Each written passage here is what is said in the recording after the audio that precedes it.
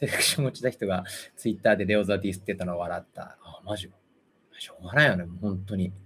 めちゃくちゃやりたかったはずなのになんでこんな恨まれる職業やってんだろうなって思う時ありますもんね、監督やってて。で昔、なんかあの、全、本当サッカーのこの YouTube やりだして、で、ちゃんと選手の気持ちを少しでも分かんなきゃいけないなと思ってサッカーやりだして、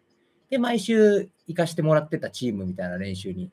で、そういうところののつながりで、ちょっと人足りないから、週末の試合来てくんないかもみたいなんで行ったんですよね。で、行ってやらせてもらって、で、途中から人増えてきたから、助っ人で行ってるから、誰か抜けなきゃいけないじゃん。その時に、あ、全然僕抜けますよ、みたいな。全然うまくもないし、みたいな感じで抜けたら、ありがとうございます、みたいな感じで。ありがとうございます、もう切ないけど。で、抜けて、ピッチサイドで見てたの。それで、その時に、ああ、これが監督の景色か、と思って見てて。でもやりながら、その、助っ人で参加したチームとか言わないけど、あ、こここうできたらもっといいチームになるのになとか、こここうやったらもっと楽になるのになと思うじゃないですか。で、外から見てて、あ、こうしたらこうなるのかと思いながら見てて、ああ、でも、あこれが監督かと思ってて、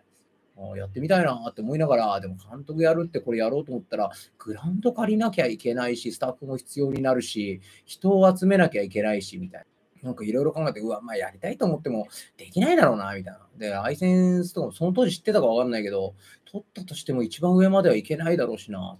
なんかそんな考えて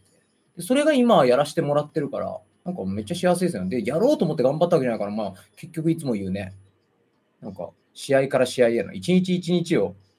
頭回しながら本気でやってたら行くとこ行くみたいな。なんならそれが目標より上に行くみたいな時ありますよ、ね。なんでこの話なの？あ、そう、だから、そういうふうに、そんなふうに思ってた場所に行って、結果、なんか嫌われることになるみたいな、なんかそういう。えー、ディヨング右サイドバックン、ツイッターで軽く叩かれてましたが、ヘラさん的には絶対うまくいくと思います。あれっすよね、こう、エゴさしてなくても、もう生配信やってる以上、褒められてますよとか、叩かれてますよとか、あの、セレクション落ちた選手が切れてますよとか、なんか知りたくないの入ってきちゃうよね。で、それをさ、一旦投げてみて、どんなリアクションするかみたいな。もう本当動物園だよね。うん。ここでささ食いながら配信しますか？今度。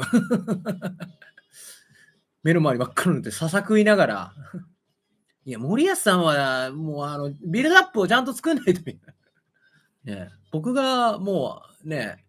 メンタル弱い系アイドルじゃなくてよかったっすよね。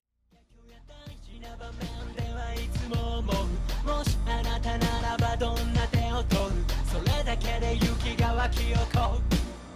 貫いた自分。